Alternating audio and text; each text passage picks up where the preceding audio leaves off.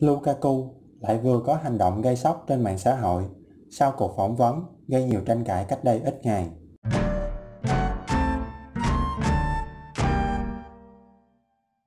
Romelu Lukaku đang trở thành tâm điểm của giới truyền thông sau những phát ngôn gây bão khi được Sky phỏng vấn cách đây không lâu.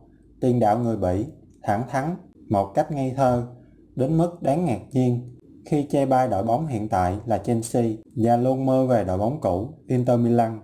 Câu chuyện này nhanh chóng trở thành đề tài nóng hổi trên khắp các mặt báo.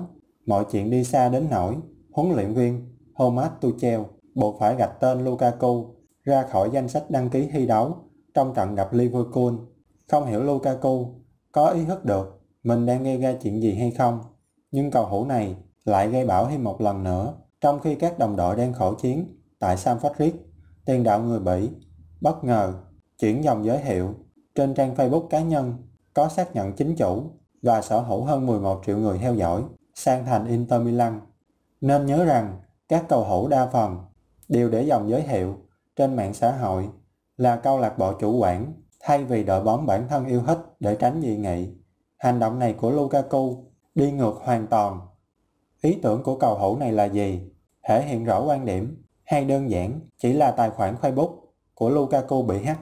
Chưa rõ chuyện gì đang xảy ra, nhưng Lukaku chưa có hành động nào tiếp theo trên mạng xã hội. Nếu như bị tin tặc tấn công, cầu thủ này hoàn toàn có thể thông báo, đóng tài khoản hoặc giải thích trên một nền tảng xã hội khác.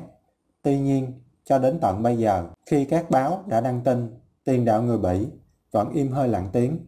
Lần cuối cùng nhận phỏng vấn, Lukaku nói rằng sẽ không trả lời bất cứ câu hỏi nào nữa, cho tới khi buổi họp nội bộ kết thúc. Huấn luyện viên Thomas Tuchel cũng xác nhận ông sẽ có buổi nói chuyện riêng với tiền đạo này vào ngày 3 tháng 1 theo giờ địa phương để làm rõ các vấn đề